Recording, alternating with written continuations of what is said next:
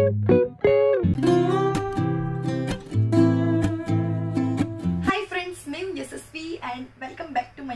आज के इस वीडियो में हम अपोलो की डायपर का रिव्यू करने वाले हैं और मैं आपको बताऊँगी कि मेरा एक्सपीरियंस मिमी की डायपर के साथ क्या रहा है।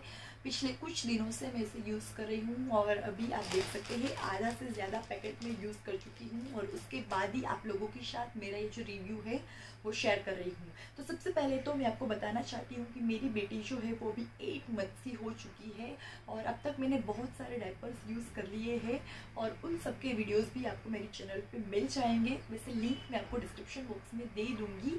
तो सबसे पहले तो अभी स्टार्ट हो गया है विंटर और विंटर में यूरिन की जो फ्रिक्वेंसी होती है, वो थोड़ी सी बढ़ जाती है। बच्चे बार बार यूरिन जाते हैं।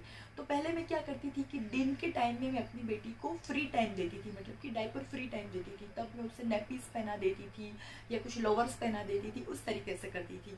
बट अब क्या है कि क्योंकि यूरिन की फ्रिक्वेंसी बहुत ही बढ़ गई है तो अभी बार बार अगर मैं चेंज करूँगी तो उससे भी गीला लगेगा। और फिर वो पोर्शन मुझे या तो पानी से साफ़ करना पड़ेगा या तो वाइप से साफ़ करना पड़ेगा।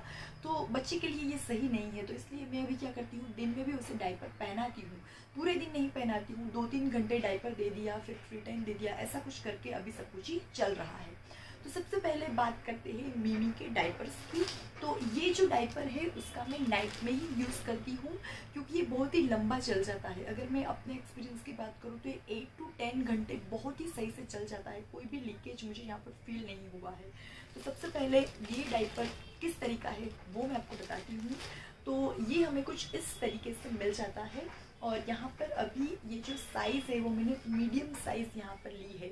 अगर आपको साइज़ का आइडिया नहीं आ रहा है तो मैं साइज़ में भी आपको बता दूँ कि ये मीडियम साइज़ है।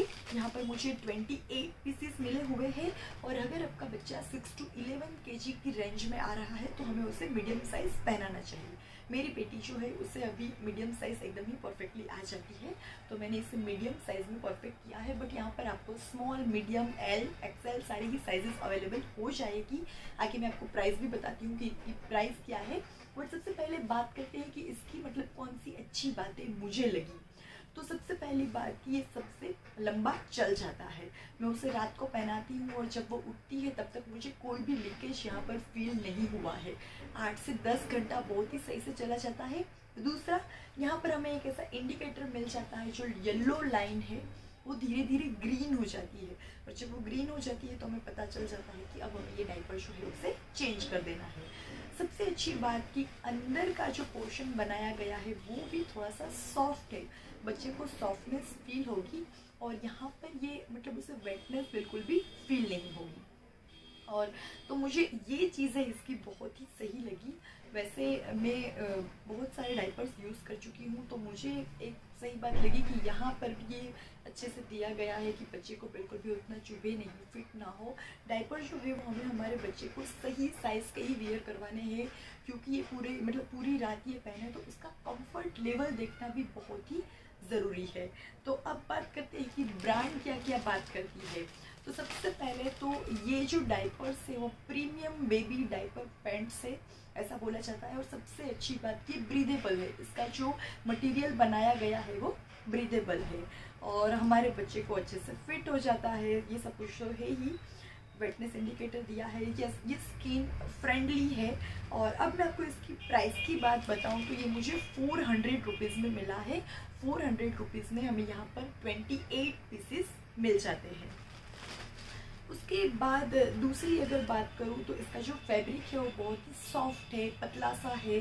तो मुझे ओवरऑल ये डायपर जो है वो सही लगा है। मेरी बेटी को इससे कुछ रैशेज नहीं हुआ है या और कोई प्रॉब्लम नहीं हुआ है। तो उस तरीके से ये सही है बट यस डाइपर आप जब भी निकालते हैं, तब मैं हमेशा ही उसे कोकोनट ऑयल लगाती हूँ और थोड़ा सा खुला भी रखती हूँ, वो पोर्शन को थोड़ा सा खुला रख दीजिए। कभी कभी हम क्या करते हैं कि डाइपर रेस क्रीम लगाने के बाद तुरंत ही डाइपर पहना देते हैं तो ऐसा ना करें। अगर आप डाइपर रेसिस क्रीम का यूज़ कर रहे हैं तो उसे फाइव टू टेन मिनट्स खुला छोड़ दीजिए, उसके बाद ही बच्चे को डाइपर पहनाइए। तो यस अगर आप इस डाइपर के साथ जाना चाहें तो डेफिनेटली जा सकते हैं। मुझे बहुत ही सही लगा है। मेरी ओर से बिग थम्स अप है इस प्रोडक्ट को। और यहाँ पर एक और बात बताना चाहती हूँ कि एक नॉन स्पॉन्सर्ड वीडियो है। मेरा जो एक्सपीरियंस रहा है, वही मैं आपको बता रही हूँ इस डाइपर के साथ। तो अगर आप ये परचेज करना चाहते हैं तो लिंक मैं आपको डिस्क्रिप्शन बॉक्स में दे दूँगी। और बाकी बच्चों के रिलेटेड और वीडियोज़ भी आपको डिस्क्रिप्शन बॉक्स में मिल जाएँगे। तो एक बार अगर आपको ये वीडियो थोड़ा सा यूज़फुल लगा है तो प्लीज़ अपने फ्रेंड्स के साथ शेयर कीजिए पेरेंट्स के साथ शेयर कीजिए, और मेरे चैनल को सब्सक्राइब करना ना भूलें। 拜拜。